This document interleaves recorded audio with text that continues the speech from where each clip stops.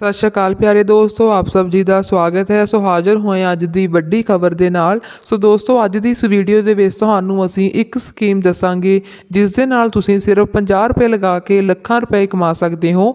ਇਹ ਜੋ ਸਕੀਮ ਹੈ, ਸਰਕਾਰ ਦੇ ਵੱਲੋਂ ਮਾਨਤਾ ਪ੍ਰਾਪਤ ਹੈ ਅਤੇ ਪੱਕੀ ਗਰੰਟੀ ਹੈ ਕਿ ਤੁਹਾਨੂੰ ਜੋ ਹੈ, ਲੱਖਾਂ ਰੁਪਏ ਮਿਲਣਗੇ।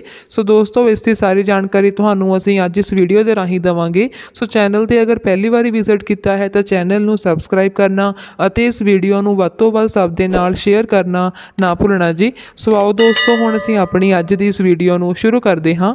ਸੋ ਦੋਸਤੋ, ਕੇਂਦਰ ਸਰਕਾਰ ਵੱਲੋਂ ਮਾਨਤਾ ਪ੍ਰਾਪਤ ਸਾਡੇ ਜੋ ਡਾਕਖਾਨੇ ਹਨ, ਡਾਕਘਰ ਹਨ, ਉਹਨਾਂ ਦੇ ਵਿੱਚ ਇੱਕ ਸਕੀਮ ਚਲਾਈ ਜਾ ਰਹੀ ਹੈ। ਇਸ ਸਕੀਮ ਦਾ ਨਾਮ ਹੈ ਗ੍ਰਾਮ ਸੁਰੱਖਿਆ ਸਕੀਮ। ਸੋ ਦੋਸਤੋ, ਸਭ ਤੋਂ ਪਹਿਲਾਂ ਤੁਹਾਨੂੰ ਅਸੀਂ ਦੱਸਦੇ ਹਾਂ ਕਿ ਜਿਨ੍ਹਾਂ ਦੀ ਉਮਰ 19 ਸਾਲ ਤੋਂ ਲੈ ਕੇ 55 ਸਾਲ ਦੇ ਵਿਚਕਾਰ ਹੈ, ਉਹ ਇਸ ਦੇ ਵਿੱਚ ਅਪਲਾਈ ਕਰ ਸਕਦੇ ਹਨ। ਤੁਸੀਂ ਨੇ ਕੀ ਕਰਨਾ ਹੈ? ਡਾਕਖਾਨੇ ਜਾਣਾ ਹੈ। ਉੱਥੇ ਤੁਸੀਂ ਨੇ ਆਪਣਾ 50 ਰੁਪਏ ਦਾ ਜੋ ਹੈ ਓਪਨਿੰਗ ਅਕਾਊਂਟ ਖੁਲਾਉਣਾ ਹੈ। ਤੁਸੀਂ ਅਗਰ 50 ਰੁਪਏ ਵਾਲਾ ਓਪਨਿੰਗ ਅਕਾਊਂਟ ਖੁਲਾਉਂਦੇ ਹੋ, ਤੁਹਾਨੂੰ 1500 ਰੁਪਏ ਦੀ ਜੋ ਕਿਸ਼ਤ ਹੈ, ਉਹ ਦੇਣੀ ਪਿਆ ਕਰੇਗੀ। ਅਗਰ ਤੁਸੀਂ ਦੋਸਤੋ 100 ਰੁਪਏ ਵਾਲਾ ਓਪਨਿੰਗ ਅਕਾਊਂਟ ਖੁਲਾਉਂਦੇ ਹੋ, ਤੁਹਾਨੂੰ 3000 ਰੁਪਏ ਦੀ ਜੋ ਹੈ ਕਿਸ਼ਤ, ਉਹ ਦੇਣੀ ਪਿਆ ਕਰੇਗੀ। ਇਹ ਤੁਹਾਨੂੰ ਜੋ ਕਿਸ਼ਤ ਹੈ 55 ਸਾਲ ਤੱਕ ਦੇਣੀ ਹੋਏਗੀ। ਤੁਹਾਨੂੰ 55 ਸਾਲ ਤੋਂ ਬਾਅਦ ਜੋ ਹੈ, ਤੁਹਾਨੂੰ ਇਸ ਦਾ ਡਬਲ ਰੁਪਏ ਮਿਲਣਗੇ। ਦੋਸਤੋ, ਮੰਨ ਲਓ ਕਿ ਤੁਸੀਂ ਆਪਣੇ 55 ਸਾਲ ਤੱਕ 2 ਲੱਖ ਰੁਪਏ ਜਮ੍ਹਾਂ ਕੀਤੇ ਹਨ, ਤਾਂ ਤੁਹਾਨੂੰ 2 ਲੱਖ ਦੇ 4 ਲੱਖ ਰੁਪਏ ਮਿਲਣਗੇ। ਤੁਸੀਂ ਅਗਰ 5 ਲੱਖ ਜਮ੍ਹਾਂ ਕਰੋਗੇ, ਤੁਹਾਨੂੰ 10 ਲੱਖ ਰੁਪਏ ਮਿਲਣਗੇ 6 ਲੱਖ ਜਮ੍ਹਾਂ ਕਰੋਗੇ, ਤੁਹਾਨੂੰ 12 ਲੱਖ ਰੁਪਏ ਮਿਲਣਗੇ।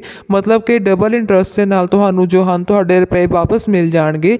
ਇਹ ਤੁਹਾਡਾ ਬੁਢਾਪਾ ਸਿਕਿਉਰ ਕਰਨ ਦੇ ਲਈ ਬਹੁਤ ਹੀ ਵਧੀਆ ਸਕੀਮ ਹੈ। ਕਿਉਂਕਿ ਦੋਸਤੋ, ਤੁਸੀਂ ਜਿੰਨੇ ਰੁਪਏ ਲਗਾਓਗੇ, ਤੁਹਾਨੂੰ ਉਸ ਦੇ ਜੋ ਹੈ ਡਬਲ ਰੁਪਏ ਵਾਪਸ ਆ ਜਾਣੇ ਹਨ। ਇਸ ਦੇ ਲਈ ਤੁਸੀਂ ਕੀ ਕਰਨਾ ਹੈ ਡਾਕਖਾਨੇ ਦੇ ਵਿੱਚ ਆਪਣਾ ਪੈਨ ਕਾਰਡ, ਆਧਾਰ ਕਾਰਡ ਆਪਣੀਆਂ ਫੋਟੋਆਂ ਲੈ ਕੇ ਜਾਣੀਆਂ ਹਨ। ਉੱਥੇ ਆਪਣਾ ਅਕਾਊਂਟ ਖੁਲਵਾ ਲੈਣਾ ਹੈ। ਦੋਸਤੋ, ਇਸ ਤਰ੍ਹਾਂ ਤੁਸੀਂ ਆਪਣੇ 50 ਰੁਪਏ ਲਗਾ ਕੇ ਲੱਖਾਂ ਰੁਪਏ ਕਮਾ ਸਕਦੇ ਹੋ, ਇਹ ਤੁਹਾਡੀ ਬਹੁਤ ਹੀ ਵਧੀਆ ਇਨਵੈਸਟਮੈਂਟ ਹੋਏਗੀ। ਸੋ ਮੈਨੂੰ ਉਮੀਦ ਹੈ ਕਿ ਆਪ ਨੂੰ ਜਾਣਕਾਰੀ ਜ਼ਰੂਰ ਚੰਗੀ ਲੱਗੀ ਹੋਏਗੀ। ਹੋਰ ਅਪਡੇਟਸ ਲਈ ਚੈਨਲ ਨੂੰ ਲਾਈਕ ਸ਼ੇਅਰ ਐਂਡ ਸਬਸਕ੍ਰਾਈਬ ਕਰਨਾ ਨਾ ਭੁੱਲਣਾ ਜੀ।